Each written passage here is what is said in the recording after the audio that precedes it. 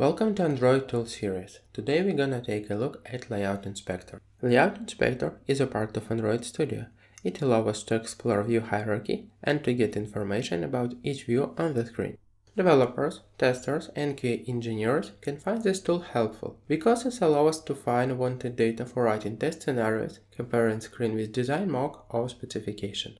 This tool can help a lot, especially when the layout of the screen is complicated and separated between different XML files. The Layout Inspector window has four sections – View tree, Toolbar, Interactive Screenshot, and a Property table. Let's start with the View tree. This section allows us to interact with the hierarchy of the views. The toolbar allows us to control zoom level and grid overlay. The interactive screenshot section display captured screenshot from the device and help us to choose the required view for checking properties. Property tables demonstrate properties of the selected views like height, width, ID, padding, text size, and so forth. To open Layout Inspector, we should click on Tools and Layout Inspector submenu. The next step is to choose the necessary process from a connected device or an emulator. If you want to capture a screenshot from any application, you should install it on rooted device or an emulator without Google Play. In this case, you should choose Show all processes and select the required process. Finally, we should click on the OK button and screen will be captured.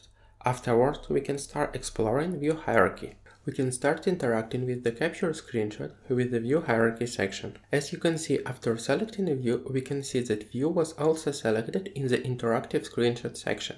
As an alternative, we can interact with Interactive Screenshot section and select the wanted view for verification properties. All properties are grouped for better navigation because some groups have many parameters. Let's check padding parameter for the login button. First of all, we should select this button in the view tree or an interactive screenshot section. Next step is to expand padding group and as we can see all padding values are zero. However, looking for properties by opening each group can be time consuming. Fortunately, we have a search in the properties table section. Let's type ID into search input and we have favor groups which simplify the looking for a property.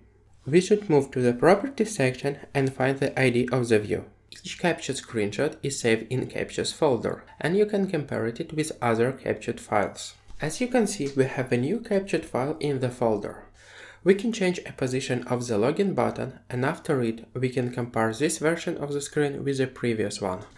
We can change layout a little bit for displaying login button on the left side of the screen. Afterwards, we should rebuild and install new version of the app. When the application is launched, we should capture the screen again. As you can see after it we have two files in the captures folder. We can open them and compare margin values. As you can see, this file can show difference between other versions of the screen. The Layout Inspector is a powerful tool which can help us with getting information about views on the screen.